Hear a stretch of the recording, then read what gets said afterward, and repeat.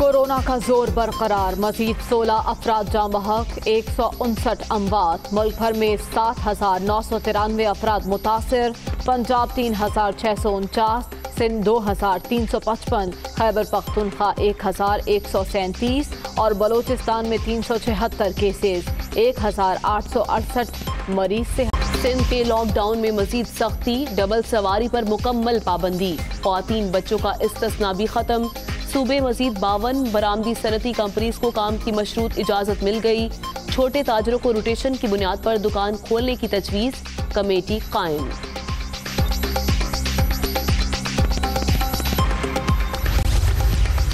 Press conference में ऐसी कोई बात नहीं की जो माहदे के खिलाफ हो। किसी एक भी चीज़ की खिलाफ वर्जी की हो तो जिम्मेदार हूँ।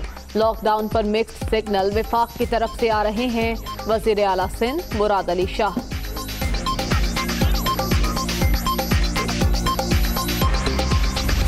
महदूद रहें, महफूज रहें।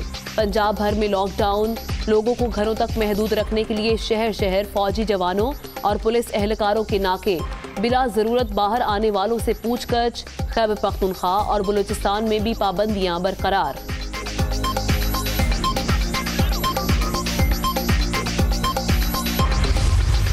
अब तक हमारे पास जितने मरीज़ आ रहे हैं और जो हमारे पास फैसिलिटीज़ हैं इन इस रेट के ऊपर, अभी इस इस महीने हमें कोई मसला नहीं होगा हमारे पास, वो फैसिलिटीज़ हैं। लेकिन जो हम आगे देख रहे हैं, कोरोना के केसेस बढ़ेंगे, हम समझते हैं कि हमारे हॉस्पिटल्स के ऊपर प्रेशर ज़्यादा पड़ेगा। जो प्रेशर 25 अप्रैल में पड़ना था, वो अब चला गया आगे 15 और 20 मई तक। और उस तक हम पूरी तैयारी कर रहे हैं।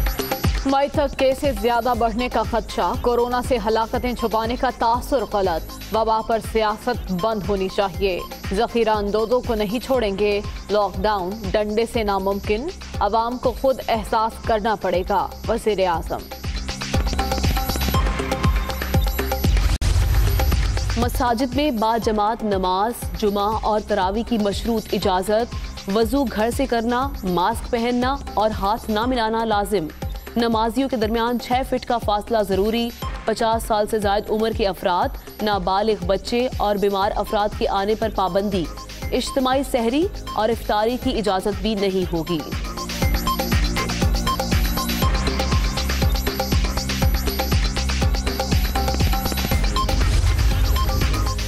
से मुशावरत के बाद मुतफ़ा एलामिया खुश आइन। सदर ममलिकत का कायदाना किरदार काबिल तहसीन है। एहतियात ही मोहलिक वबा का सबसे मौसर इलाज है। माह सयाम की रहमतों से हर घर मुनवर होगा। फिरदौस आशिकावान पीआईए का बरतानिया के लिए फ़्लाइट ऑपरेशन जुजवी बहाल। आज से रोज़ाना लंदन, मैनचेस्टर और बर्मिंगम के लिए परवाजों का आगाज़। यकतरफा रियायती किराया एक लाख दस हज़ार रुपये या पाँच सौ पच्चीस पाउंड कोरोना वायरस ने मजीद 16 अफराद की जान ले ली। तादाद एक सौ उनसठ तक पहुँच गई। मुल्क भर में मुतासर अफराद की तादाद सात हज़ार नौ सौ तिरानवे हो गई। आपको बताएँ कि एक हज़ार आठ सौ अड़सठ सेहत याब हो चुके हैं। पंजाब सबसे ज़्यादा मुतासर है, जहाँ पर केसेस की तादाद तीन हज़ार छः सौ उनचास है। सिंध में तेईस सौ पचपन, खैबर पख्तूनख्वा में ग्यारह सौ सैंतीस मरीज़ सामने आए हैं। बलूचिस्तान की अगर बात की जाए तो वहाँ पर तीन सौ छिहत्तर केसेस हैं। गिलगित बल्तिस्तान में दो सौ सतावन अफराद कोरोना वायरस से मुतासर हैं। इस्लामाबाद में एक सौ इकहत्तर केसेस रिपोर्ट हो चुके हैं। जबकि ये बताया जा रहा है कि चौरासी हज़ार से जायद अफराद के टेस्ट किए जा चुके हैं तो कोरोना वायरस तेज़ी से फैल रहा है। मजीद सोलह अफराद की जान ले ली है। मरने वालों की तादाद अब एक सौ उनसठ हो गई है। मुल्क भर में अगर मुतासर अफराद की बात की जाए तो कुल तादाद सात हज़ार नौ सौ तिरानवे है, जबकि सेहत याब होने वाले अफराद का भी जो नंबर है वो अच्छा है। एक हज़ार आठ सौ अड़सठ अफराद ऐसे हैं जो कि कोरोना वायरस से सेहतयाब होकर घरों को जा चुके हैं।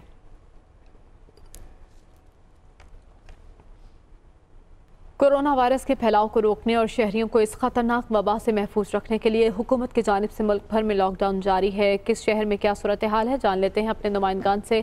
इस्लामाबाद से इसमा शौकत हमें अपडेट करेंगी। पिशावर से आमिर जमील, कराची से शाहमीर खान हमारे साथ मौजूद होंगे, जबकि लाहौर से जाहिद आबिद हमें अपडेट करेंगे। सबसे पहले कराची चलते हैं, जहाँ शाहमीर मौजूद हैं। शाहमीर कहिएगा, वहाँ पर बताया जा रहा है कि सख्ती कर दी गई है लॉकडाउन में। बच्चों और खातन को जो डबल सवारी पर पाबंदी से वो इस्तना थे, लेकिन अब पाबंदी आयद कर दी गई है। क्या सिचुएशन देख रहे हैं आप? जी बिल्कुल, जहाँ जो है कहीं पे नरमी की गई है इस लॉकडाउन में, कारोबारी तबके के हवाले से, वहीं पे शहरियों के लिए सख्ती भी की गई है। गुज्त रोज़ भी एक हुक्मनामा जारी हुआ था, जिसमें जो तंदूर हैं, बेकरी वाले हैं, और इस तरह के जो अशिया खुर्दनोश की दुकानें उनको में कुछ नरमी दिखाई गई थी इस लॉकडाउन में, और एस ओ पीज़ पर अमल दरामद के बाद जो उनको कारोबार दोबारा बहाल करने की इजाज़त दी गई थी। इसी तरह गुजशत रात हमने देखा कि ऐलान सामने आया और डबल सवारी पर मज़ीद सख्ती से इकदाम करने के लिए जो है वह अहकाम जारी किए गए। इसके बाद हम देख रहे हैं कि ट्रैफ़िक पुलिस और पुलिस के साथ साथ रेंजर्स के अलकार भी सड़कों पर जो है वो सरगर्म दिखाई दे रहे हैं। ख़वातीन और बच्चे साथ इसके साथ साथ सहाफ़ी और पुलिस एहलकार ख़ुद भी इस डबल सवारी की की जो है वो पाबंदी करेंगे, इसकी खिलाफ वर्जी नहीं कर सकता। अगर कोई भी शख्स डबल सवारी पे मोटरसाइकिल पे घूमता हुआ दिखाई दिया तो उसके खिलाफ फौरी तौर पर कार्रवाई भी की जाएगी, गिरफ्तारियाँ भी होंगी और चालान भी किया जाएगा। जिन जिन को जो वो सचना हासिल था इस डबल सवारी से उन तमाम पे भी अब जो है वो पाबंदी कर दी गई है क्योंकि पुलिस हुकाम ये कहते हैं कि जो सोशल डिस्टेंसिंग का एक जो मैसेज दिया जा रहा है और डबल सवारी पे वो फेल होता हुआ दिखाई दे रहा है हम्म। जो ट्रैफ़िक है उसकी रवानी भी कम करने के लिए बारह ऐलान किए जा रहे हैं इकदाम भी किए जा रहे हैं लेकिन शहरी जो हैं वो सड़कों पे आते हैं घरों से बाहर निकल रहे हैं जगह जगह ट्रैफ़िक जाम होती है तो उस पर भी जो है, इस वायरस के फैलने के खदशात होते हैं। तहम पुलिस का कहना है कि मज़ीद सख्ती भी की जाएगी। लॉकडाउन में अगर शहरी ख़ुद से जो है वो सोशल डिस्टेंसिंग कायम नहीं करते, अपने आप को महदूद नहीं करते तो इस लॉकडाउन में सख्ती की जा की जा सकती है हम्म। लेकिन नरमी नहीं की जाएगी। लो, लोगों से बारहा ये बात दरख्वास्त की जाती है कि वो मास्क पहने ग्लव्स पहने फासले पर रहें लेकिन, लेकिन अवाम इन अहकाम को किसी खातिर में नहीं ला रहे। शामिल हमारे साथ ही रहेगा लाहौर का रुख कर लेते हैं जाहिद आबिद जहाँ पर मौजूद है। जाहिद वजी अला पंजाब ने शहर के मुख्तलिफ़ मकाम का दौरा किया और सड़कों पर ट्रैफ़िक की रवानी देखकर बरहमी का इजहार भी किया। आप इस वक्त क्या देख रहे हैं? क्या ट्रैफ़िक की रवानी कुछ कम हुई? जी लाहौर में जो जुजवी लॉकडाउन का अमल जारी है, उसमें यकीनन हमें आवाम की जानब से गैर संजीदगी नज़र आती है। लेकिन जो कराची के हालात अभी बताए जा रहे हैं, कराची में जिस तरह पाबंदी आयद कर दी गई, अभी इस किस्म की पाबंदी तो लाहौर में आयद नहीं की गई, लेकिन लगता यह है कि एक ख़ास हिस्सा है आवाम का जो कि इस ऐसी खिलाफ वर्जियाँ कर रहा है, जिसकी वजह से ऐसी पाबंदियाँ फिर लागू करना नागजीर हो जाती हैं। वजी अला की जानब से भी गुजशत रात जो दौरे किए गए, उन्होंने इस पर बरहमी का इजहार किया कि आठ बजे तो तकरीबन तमाम जो दूध दही की दुकानें हैं, गोश्त की दुकानें वो भी बंद हो जाती हैं। किराना स्टोर ग्रॉसरी स्टोर पाँच बजे बंद हो जाते हैं। होटल कोई खुला नहीं है। तो ये सारे लोग सड़कों पर क्यों फिर रहे हैं? इस वक्त कहीं दफ्तर जाने का टाइम नहीं है। तो ये यकीन एक ऐसी सूरत हाल है जिसका अवाम अवाम की जानब से एक ऐसा फ़ज़ा पैदा की जा रही है जिसमें हकूमत को सख्त फैसले करने पर मजबूर किया जाए।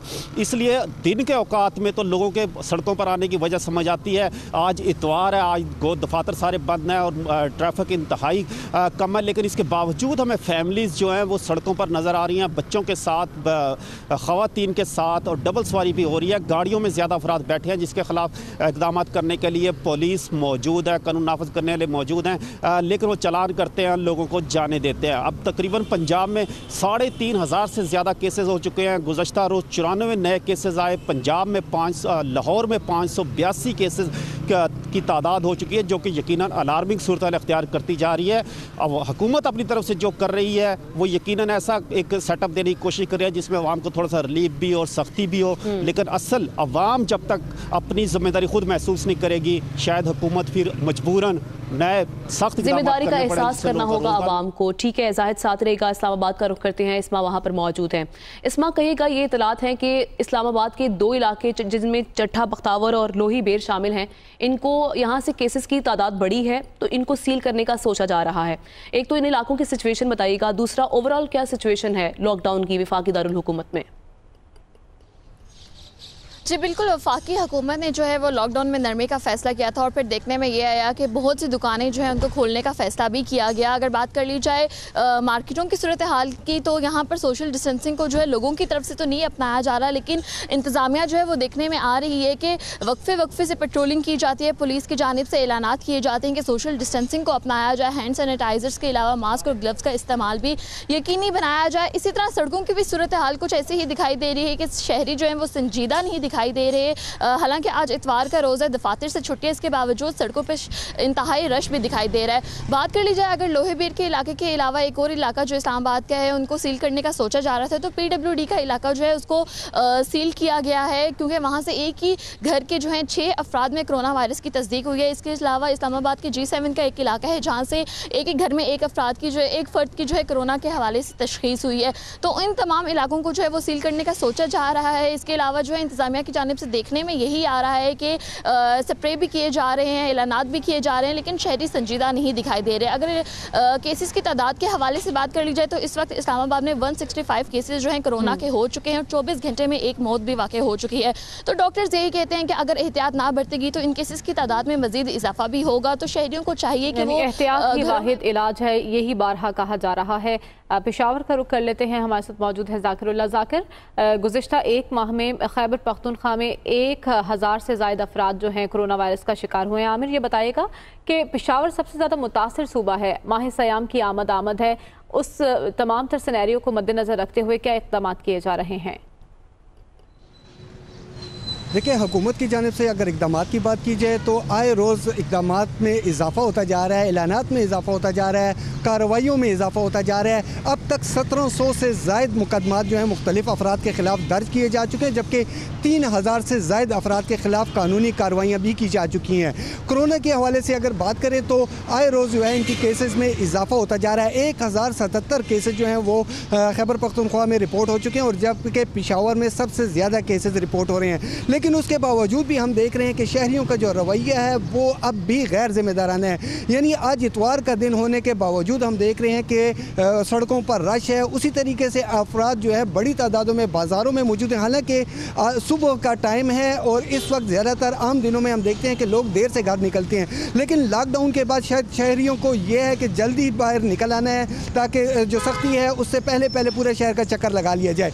तो अभी भी हम देख रहे हैं कि शहरी बड़ी तादाद में मौजूद मौजूद हैं, वैसे ही चक्कर लगाए जा रहे हैं। और अहम चीज़ ये है कि ना तो मास्क पहने जा रहे हैं, ना दस्ताने पहने हुए हैं, और ना ही एक दूसरे से फासले का अहतमाम किया जा रहा है। यानी उसी तरीके से, जिस तरीके से लॉकडाउन के दौरान पिशावर के जो शहरीों का रवैया था, आज भी हम वो उसी तरीके से देखते जा रहे हैं। दूसरी जानब हुकाम की जानब से अगर बात करें कि क्या इकदाम किए जा रहे हैं तो न सिर्फ़ मुख्तलिफ़ मकाम पर पुलिस खड़ी है शहरीों को बार बार तंबी की जा रही है, घरों में रोका जा रहा है मुकदमा दर्ज किए जा रहे हैं गिरफ्तारियाँ की जा रही हैं लेकिन जहाँ पर भी किसी भी शहरी को मौका मिलता है वो इससे फ़ायदा बिल्कुल ऐसा ये लोग घरों में रहकर उकता गए हैं। सोशल डिस्टेंसिंग का तकाजा पूरा करना होगा प्रिवेंटिव जो मैयर्स हैं स्टेप्स हैं उनको फॉलो करना होगा। हमारे नुमाइंदगान हमें अपडेट कर रहे थे मुख्तलिफ़ शहरों से।